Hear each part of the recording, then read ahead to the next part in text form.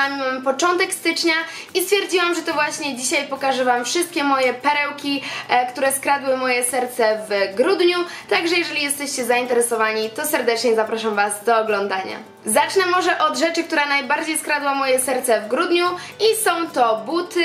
Em, buty, które pff, starałam się wyczyścić, ale zapomniałam o podeszwach, więc trochę mi się piasek sypie. E, w każdym razie są to buty, które męczyłam codziennie. E, są to sneakersy na mm, koturnie, które wyglądają bosko tak naprawdę do wszystkiego, do stylizacji eleganckich, luźnych, sportowych. Są to na pewno buty dla osób, które chcą na pewno swoje stylizacje troszeczkę ożywić.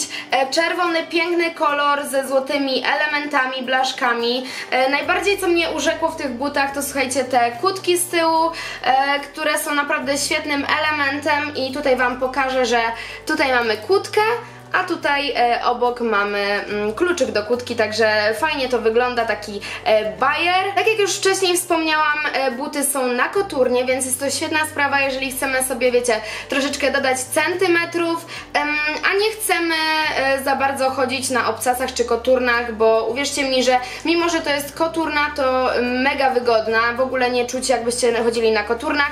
Ja ogólnie na co dzień chodzę na w płaskim obuwiu, e, czasami mi się zdarza założyć obcasy ale to tylko wtedy, kiedy wiem, że będę cały dzień jeździć samochodem. Buty są wykonane ze skóry, rozmiar to 38, czyli um, po prostu zamawiajcie klasyczny swój rozmiar, bo wiemy, czasami e, te rozmiary butów są zawyżone, zaniżone, a tutaj ja normalnie noszę 38, zamówiłam 38 i są idealne. Nie będzie dużo pytań, gdzie kupiłam buciki, więc um, zostawię Wam linka w opisie właśnie do tego modelu. E, swoje buciki zamówiłam na stronie eobuwie.pl Tak jak ostatnim razem pokazywałam Wam haul z tego sklepu, tak, tym razem również się skusiłam na kolejne buciki. E, jestem z nich bardzo zadowolona, są porządnie wykonane, pięknie wyglądają, super e, uzupełniają naszą stylizację, także serdecznie mogę Wam je polecić. I oczywiście w ulubieńcach grudnia buciki trafiają na pierwsze miejsce. Na miejscu drugim ląduje matowa pomadka z Too Faced w kolorku Lady Balls i jest to przepiękny odcień czerwieni, e, który właśnie mam na ustach. Jest to pomadka, którą odkryłam dzięki e, łobuzom.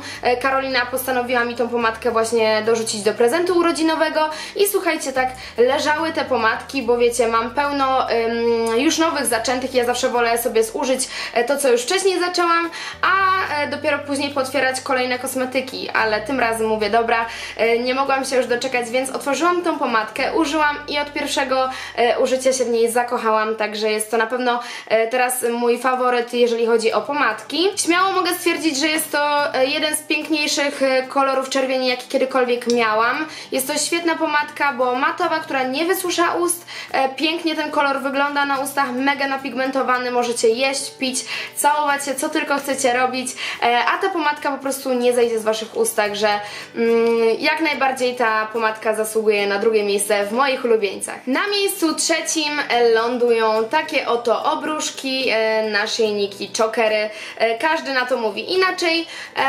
Słuchajcie, są to chokery, które wynalazłam w Rossmanie i co najśmieszniejsze to kompletnie jakoś nie byłam do nich przekonana, zobaczyłam je, słuchajcie, tak wiecie, wisiały sobie na e, stojaczku, ale mówię, kurczę, na pewno fajnie będzie wyglądać nawet do zdjęć, do jakiejś stylizacji, więc mówię, okay, wezmę. Ten choker czarny z czarnymi cyrkoniami, kryształkami jest na takim e, zamszowym pasku e, i słuchajcie, kosztował mnie on 14 zł, a ten tutaj już, który mam na szyi jest na silikonowym paseczku, na którym właśnie te kryształki są wszystkie poprzyklejane i kosztował mnie on już 25 y, zł, bo wiecie, jest bogatszy, więcej ma tutaj tych pewnie mm, kryształków i jest to naprawdę świetna sprawa, bo wystarczy, że założycie, słuchajcie, zwykłą sukienkę, e, założycie sobie takiego chokera i wygląda to naprawdę przepięknie, e, nie musicie nic więcej robić, także jestem mega zadowolona z tego zakupu.